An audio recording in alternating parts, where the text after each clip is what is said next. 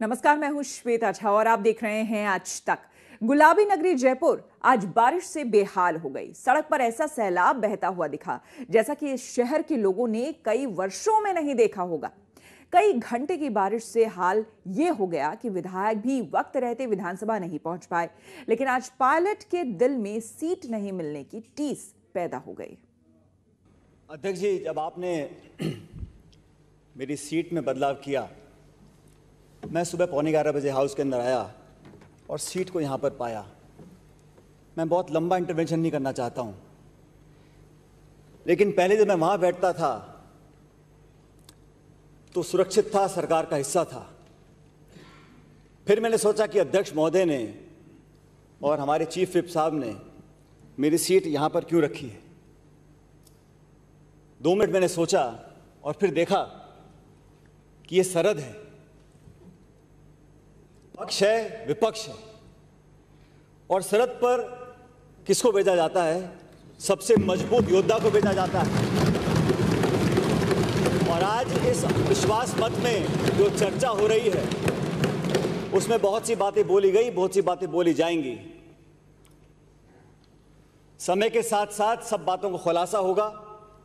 आज मैं भाषण देने के लिए खड़ा नहीं हुआ हूँ अध्यक्ष महोदय, लेकिन मैं इतना कहना चाहता हूँ जो कुछ कहना था, सुनना था। चाहे मैं हूँ, चाहे मेरा कोई साथी हो। हम लोगों ने जिस डॉक्टर के पास अपने मर्ज को बताना था, वो बता दिया, इलाज कराने के बाद हम सब सब लोग, आज सवा सौ लोग यहाँ सदन में खड़े हैं। और सदन के अंदर जब हम सब लोग आए हैं तो कहने, सुनने वाली बातों को परे हटकर आज वास्तविकता पर ध्यान देना पड़ेगा। धरातल पर जब हमने कल संकल्प लिया बैठकर बातें करी। सारी बात खत्म कर कर आज सदन में जब प्रवेश किया है तो इस सरहद पर कितनी भी गोलाबारी हो, हम सब लोग और मैं कवच और ढाल, गदा और भाला बनकर यहाँ पर सुरक्षित रखूँगा। आपको बताना चाहता हूँ।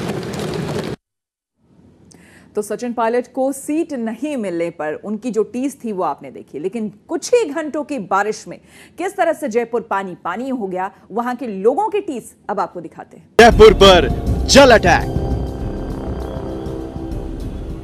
शहर की सड़कों पर दिखा सैलाब। जयपुर बना जलपुर।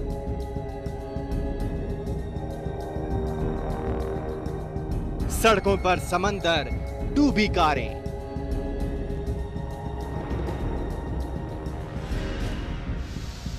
जयपुर का ऐसा हाल सालों में इस शहर के लोगों ने कभी नहीं देखा। बारिश के बाद मानो सड़क पर समंदर बन गया हो। बारिश के बाद सड़कें मानो समंदर बन गई हों। कारों की हालत देखिए बारिश का पानी ऐसा भरा कि कई कारें पूरी तरह इनमें डूब गईं। कुछ कारें पलट गईं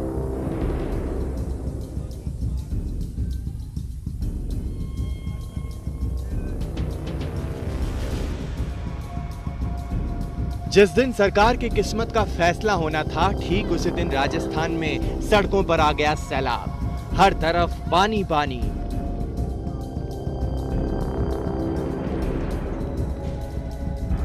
जयपुर की एक मुख्य सड़क पर इस रफ्तार भरे सैलाब को देखिए, जैसे कोई उभरती बरसाती नदी शहर में घुस आई हो।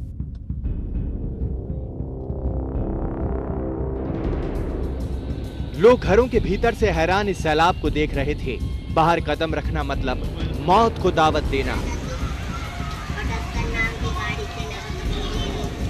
इस सैलाब में कारें आधी डूबी दिखी और शहर के कुछ दूसरे इलाकों का भी यही हाल था। बारिश में कई जगहों पर गाड़ियाँ फंस गई और जाम लग गया।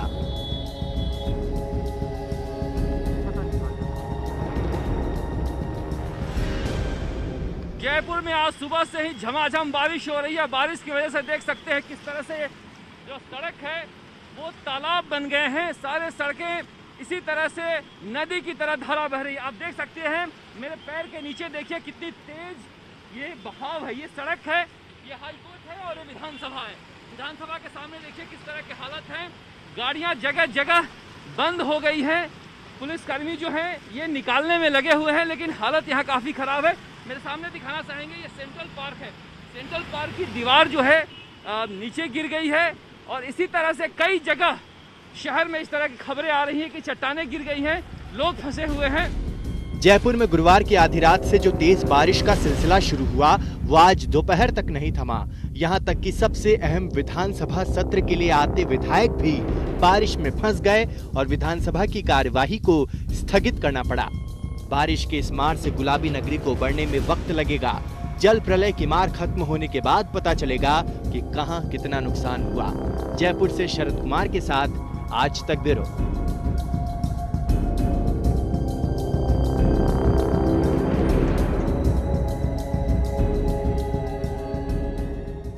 तो गुलाबी नगरी का हाल आपने देखा। अब आपको गुजरात लिए चलते हैं और मानसून में गुजरात पर किस तरह से कुदरत का कहर बस, बरस रहा है, ये आपको हम दिखाते हैं। दरअसल सूरत, राजकोट जैसे शहर पानी पानी हो गए हैं। मौसम विभाग ने अगले कुछ दिन और भारी बारिश का अलर्ट दिया है। गुजरात में मुसीबत की पानी इस वक्त बरस रही है।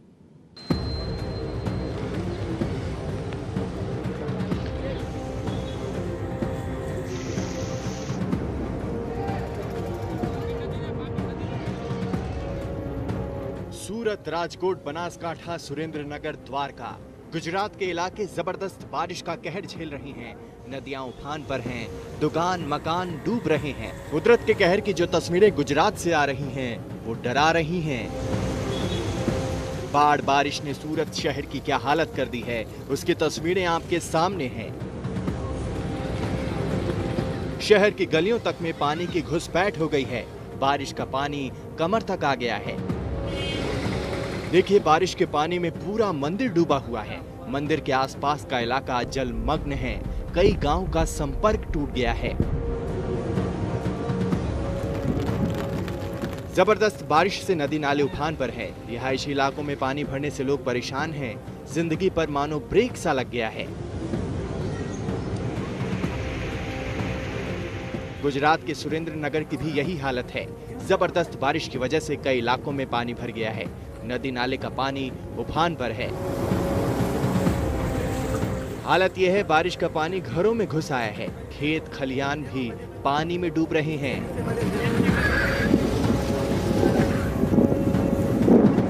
गुजरात के द्वारका में भी बाढ़ जैसे हालात हो गए हैं। गाँव की सड़कों पर नाव चल रही है। बाढ़ में फंसे लोगों को किसी तरह बाहर निकाला जा रहा है। कल गुजरात के राजकोट से आई इन तस्वीरों ने भी डरा दिया। राजकोट में भारी बारिश की वजह से अंडरपास में पानी भर गया। अंडरपास में सवारियों से भरी परिवहन निगम की बस फंस गई। पानी का स्तर देखकर लोग घबरा गए। हिम्मत दिखाकर बस की सवारियाँ कमर से ऊपर आ चुके पानी में उतर गईं। किसी तरह खुद को संभाला। इस महिला सवारी को देखिए जैसे तैसे पानी को पार कर रही हैं। पीछे कई और सवारियाँ भी हैं, जो खुद को और अपने सामान को बचाने की जद्दोजहद कर रही हैं।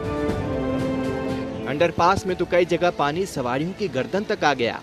कुछ ऐसे भी थे जो बस की छत पर चढ़कर जान बचाने लगे। अच्छी बात यह थी कि मुसीबत में सवारियों ने एक दूसरे का साथ नहीं छोड़ा। मदद के लिए स्थानीय लोग भी आ गए। एक एक कर सवारियों को सुरक्षित बाहर निकाला। पानी से बाहर आते ही लोगों ने राहत की सांस ली। जेसीबी मशीन की मदद से बस को भी बाहर निकाला गया। गुजरात के कई जिलों में ज़बरदस्त बारिश हो रही है। मौसम विभाग ने आगे भी भारी बारिश का अलर्ट दिया है। सूरत से गोपी घांगर के साथ आज तक ब्यूरो। गुजरात में मानसून की मार है।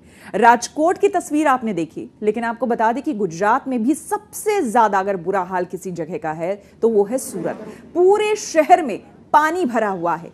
एक बार की तस्वीरों को देखकर आपको अंदाज़ा हो सकता है कि कितने बदतर यहाँ पे हालात हैं। दर्जनों कॉलोनियाँ तीन से चार फुट पानी में डूबी हुई है। लोगों ने घरों की छत पर शरण ले रखी है। ये देखिए तस्वीरें।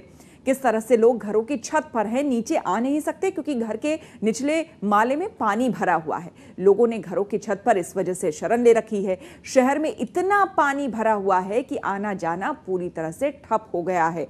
कोई अपने घर से भी थोड़ी दूर आगे निकल नहीं पा रहा।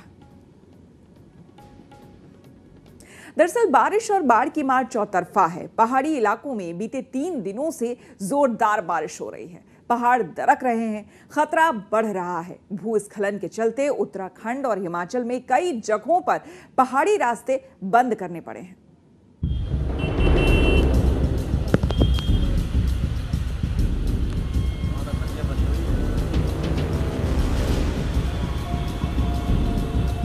जयपुर पर जल अटैक। शहर की सड़कों पर दिखा सैलाब। जयपुर बना जलपुर।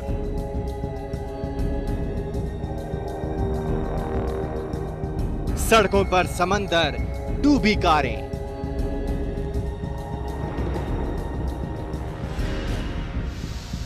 जयपुर का ऐसा हाल सालों में इस शहर के लोगों ने कभी नहीं देखा। बारिश के बाद मानो सड़क पर समंदर बन गया हो। बारिश के बाद सड़कें मानो समंदर बन गई हों। कारों की हालत देखिए। बारिश का पानी ऐसा भरा कि कई कारें पूरी तरह इनमें डूब गईं। कुछ कारें पलट गईं।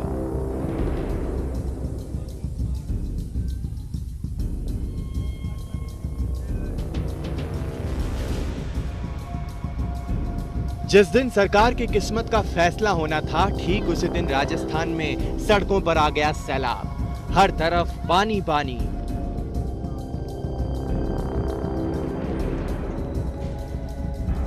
जयपुर के एक मुख्य सड़क पर इस रफ्तार भरे सैलाब को देखिए, जैसे कोई उफनती बरसाती नदी शहर में घुस आई हो।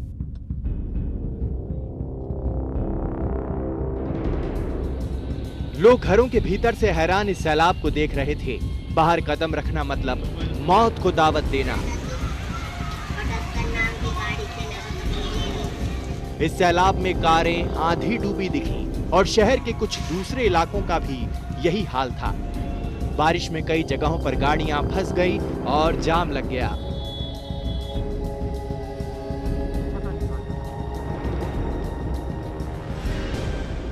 जयपुर में आज सुबह से ही झमाझम बारिश हो रही है। बारिश की वजह से देख सकते हैं किस तरह से जो सड़क है, वो तालाब बन गए हैं। सारे सड़कें इसी तरह से नदी की तरह धारा बह रही है। आप देख सकते हैं, मेरे पैर के नीचे देखिए कितनी तेज ये बहाव है, ये सड़क है।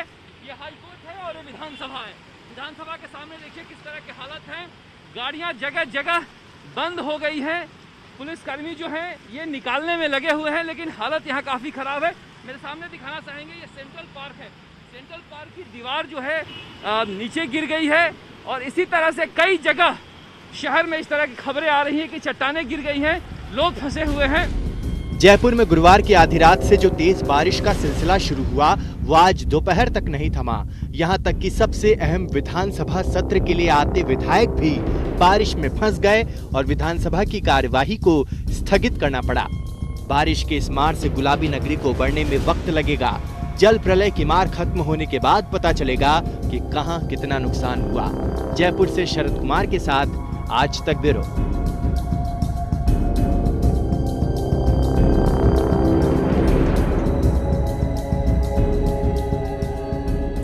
बारिश और लैंडस्लाइड से उत्तराखंड के कई ज़िले भी बुरी तरह से प्रभावित हुए हैं। रुद्रप्रयाग में कई जगह पर ज़मीन धस गई है, जिससे घर ज़मीन दोज हो गए हैं। केदार घाटी के कई गाँवों में बारिश कहर बनकर टूटी है।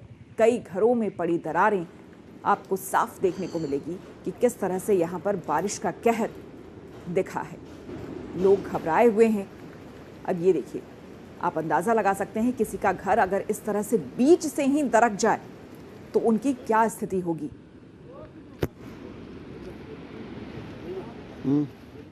रुक करेंगे अगली खबर का। कोरोना का कोहराम पूरी दुनिया में जारी है। इस बीच रूस के वैक्सीन की खबर बड़ी राहत लेकर आई है।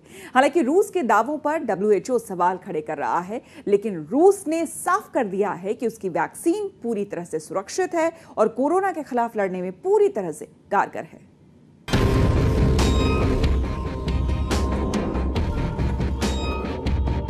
दुनिया में चीन डींगे हाँकता रह गया और रूस ने कोरोना वैक्सीन को लेकर दुनिया भर में नंबर वन का दावा ठोक दिया खुद पुतिन ने ताल ठोक कर कहा कि रूसी वैक्सीन वायरस की दुश्मन नंबर वन है लेकिन रूसी वैक्सीन पर सवाल खड़े करने में सबसे आगे रहा विश्व स्वास्थ्य संगठन जिसे पुतिन का यूं गरजना पसंद नहीं आया Насколько мне известно, сегодня утром зарегистрирована, впервые в мире зарегистрирована вакцина против новой коронавирусной инфекции.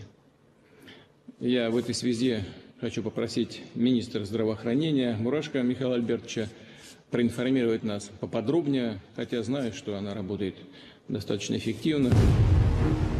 रूस के वैक्सीन बनाने के दावे पर डब्ल्यूएचओ ने सवालिया निशान खड़े किए हैं रूस का दावा है कि दो साल तक उनकी वैक्सीन कोरोना के खिलाफ सॉलिड है लेकिन डब्ल्यूएचओ का कहना है कि फ़ेज़ टू और फ़ेज़ थ्री ट्रायल पूरा होने से पहले उत्पादन शुरू नहीं होना चाहिए।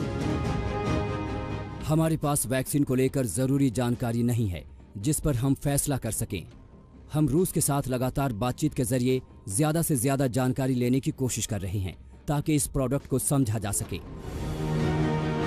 वैक्सीन की सुरक्षा और सटीकता को लेकर लगातार एक्सपर्ट सवाल खड़े कर रहे हैं, क्योंकि ट्रायल के तरीके वैक्सीन के पैमाने के मुताबिक नहीं है।